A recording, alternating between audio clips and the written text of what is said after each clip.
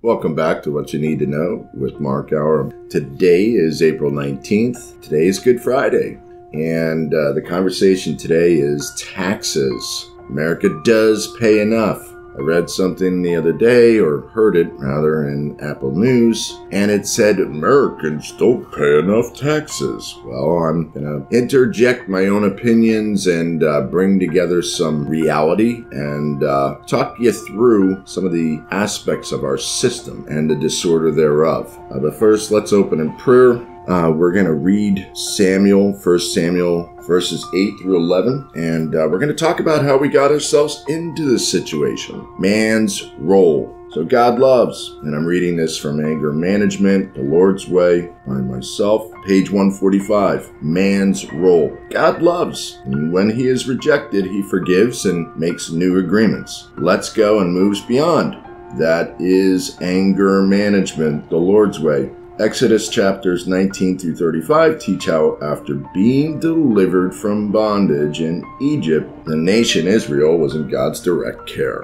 God brought them to Mount Sinai to ratify an agreement with all 600,000 men, not counting the women, children, and livestock. God's presence was too intense for the people to handle. And while Moses was with God on the mountaintop memorializing the agreement, the people became restless and made a golden calf to worship. Moses' intimacy with God saved the people. God continued to make and ratify his covenant agreement with them after much deliberation with Moses. God continued to lead the nation Israel through intercessors and priests up through Samuel. In 1 Samuel chapter 8, the crux of this conversation, the establishment of the monarchy of Israel is retold, an extremely critical point in history because once again, God is rejected. This time, Israel asks for a king, like those of the Gentile nations, justifying their request by rejecting sons of their priest Samuel. Our infinitely gracious Father in heaven grants their request with one condition. Samuel conveys the following message prior to God letting go and moving beyond. So Samuel spoke all the words of the Lord to the people who had asked of him a king. He said, This will be the procedure of the king who will reign over you. He will take your sons and place them for himself in his chariots and among his horsemen, and they will run before his chariots. He will appoint for himself commanders of thousands and of fifties, and some to do his plowing and to reap his harvest, and to make his weapons of war and equipment for his chariots. He will also take your daughters for perfumers and cooks and bakers. He will take the best of your fields and your vineyards and your olive groves and give them to his servants. Now, do you hear this? Take, take, take, take, take, take, right? He will take a tenth of your seed and of your vineyards and give to his officers and to his servants. You will also take your male servants and your female servants and your best young men and your donkeys and use them for his work. He will take a tenth of your flocks and you yourselves will become his servants. Then you will cry out in the day because of your king whom you have chosen for yourselves, but the Lord will not answer you in that day. That's 1 Samuel chapter 8 verses 10 through 18. Now, why did I choose that? Today's Good Friday, right? Today is the holiest of days in Christianity. It's when Jesus himself is rejected. We just read when God was rejected, his father was rejected at Mount Sinai, and he gives us a king. And he tells us, hey, you know what? Y'all are just going to be slaves on the plantation. Everything that's yours is no longer yours, it's going to become the king's. He told us in plain language. He had Samuel read it over to us to make sure we knew what we were getting into. So if you think you have a grudge and you got a problem, bottom line is is this is a contract, okay? We've been in the contract for a long time. And when Christ died in our stead on Good Friday, the contract was broken. He pays our debts. He pays for our sins. What in of itself, death is a tax.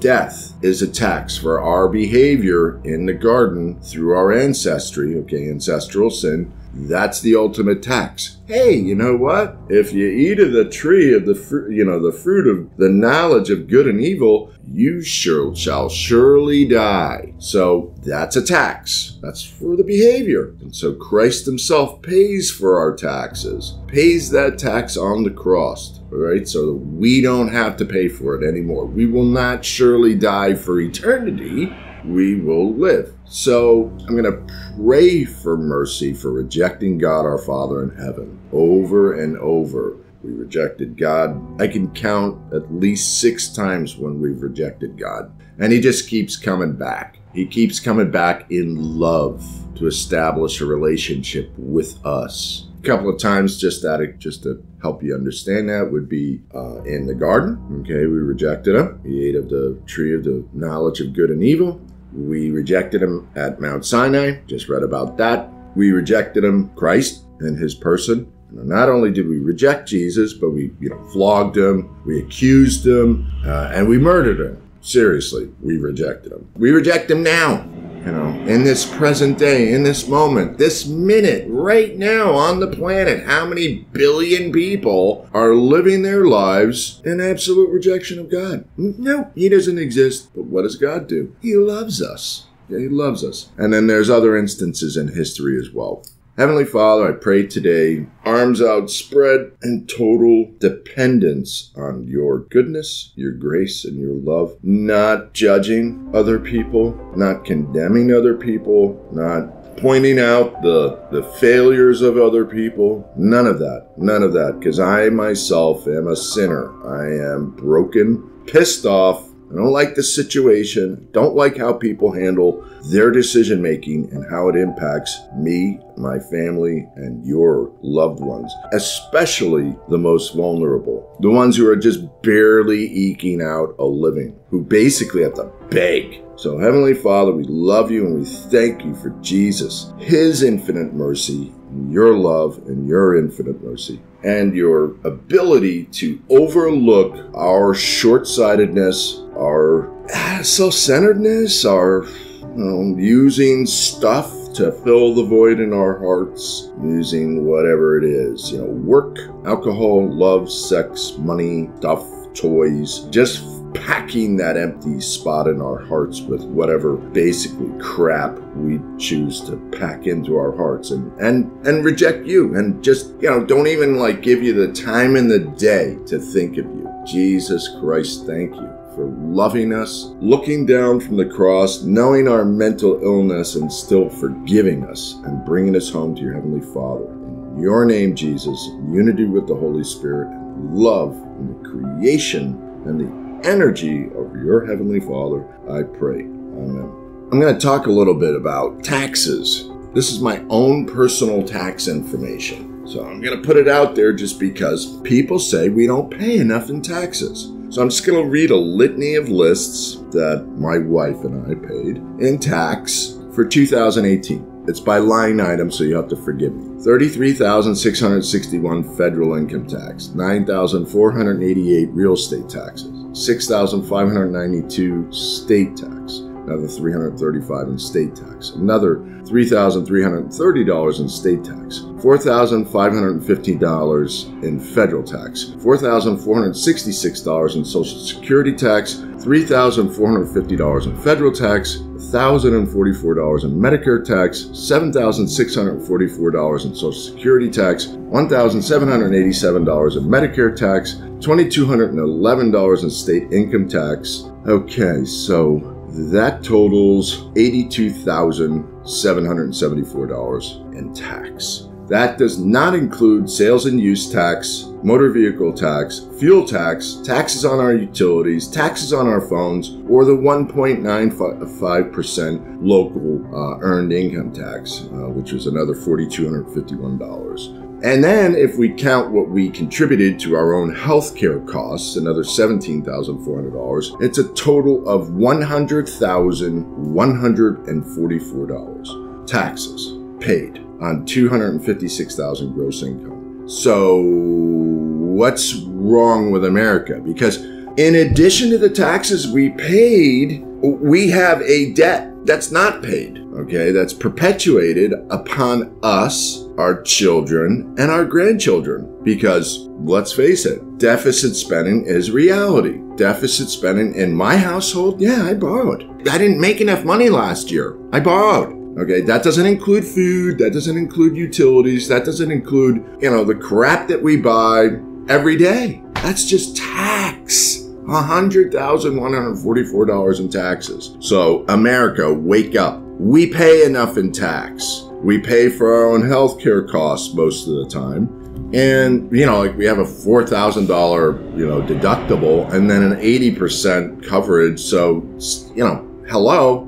All right. So, why is deficit spending a problem? Because in relationship to the economy, when you have access to credit, okay, whether it's on a government level, a local level, you know, your own personal, you know, leveraging your future, okay, as far as income is concerned, when you access credit or amortize or use your future income, like a mortgage for 30 years, you exasperate pricing there's a relationship. It's called price elasticity. And as long as money is available, okay, and the demand continues, prices will go up in relationship to, you know, purchasing power. And I could go into price elasticity or inelasticity or blah, blah, blah, but we're just going to keep it really simple. When we borrow, we create the problem like deficit spending, passing on the burden of those additional taxes onto the future, mortgaging our future. We're slaves.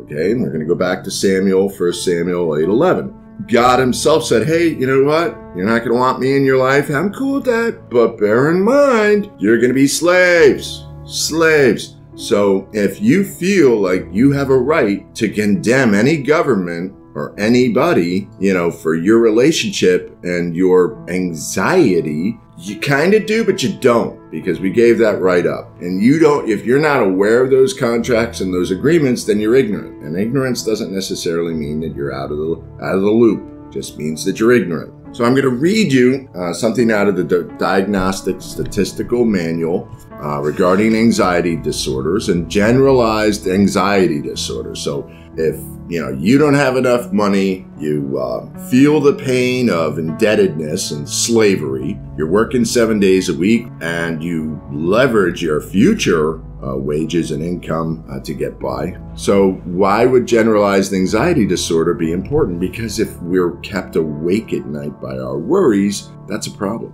On page 436 of the Diagnostic Statistical Manual in uh, the DSM 4 by the American Psychiatric Association, they describe uh, generalized anxiety disorder. So 300.02. The anxiety and worry are associated with three or more of the following six symptoms, with at least one symptom present for more than you know a few days, but not lasting more than six months. Note: only one item is required in children. One, restlessness or feeling keyed up or on edge. Well, I think all America is like that. Two, being easily fatigued. I'm not easily fatigued. I work seven days a week, but I feel fatigued.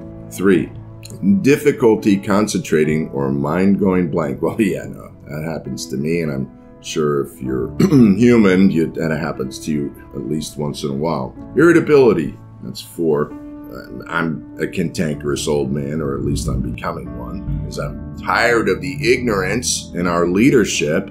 Five, muscle tension. Yeah, I feel that. Six, sleep disturbance, difficulty falling or staying asleep, or restless, unsatisfying sleep.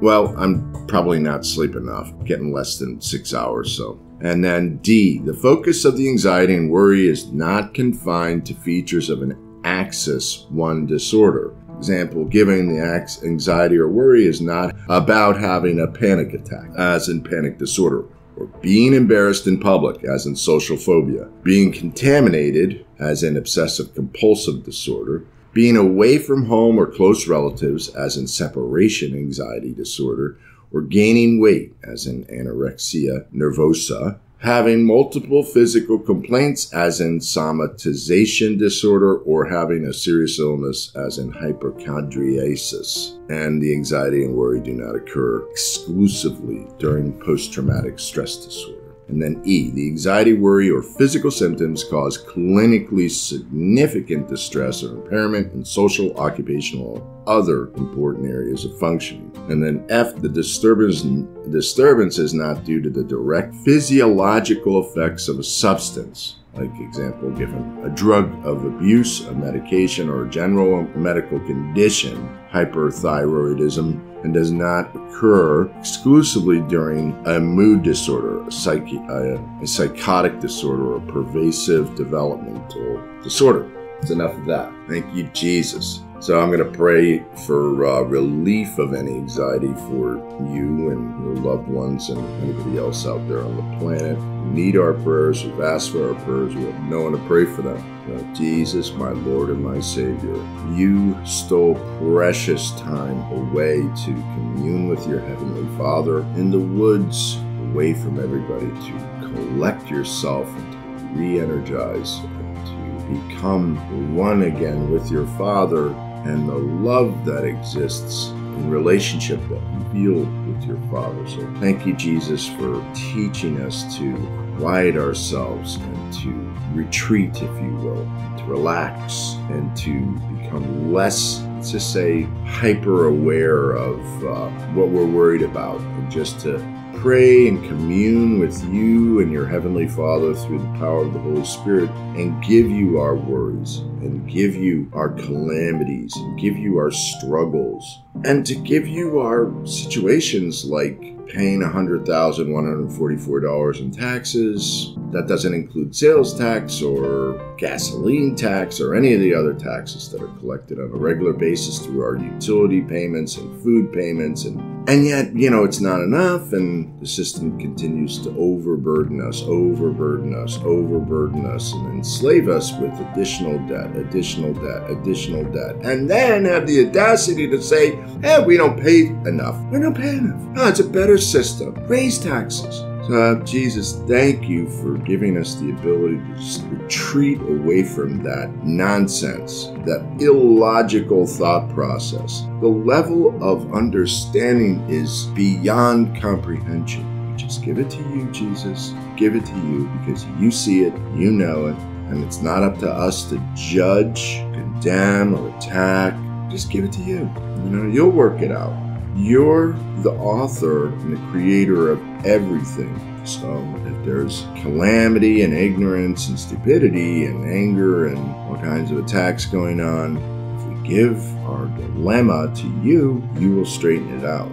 You will bring knowledge to the forefront of the minds of the individuals who have the power and the capability to correct the imbalances ask these things in your name, Jesus, of your Heavenly Father, in total understanding that it's already done. You did it on the cross. It's paid. The debts are paid. If we just took the accounting that's off ledger within the Treasury of the United States and then allocated the uh, the worth of the country to every citizen alive as an inheritance that's already been paid for by our ancestry, we're all billionaires. So don't fret. They want to hoodwink us but they're not gonna, you know, because Christ has paid. Christ has paid our debt.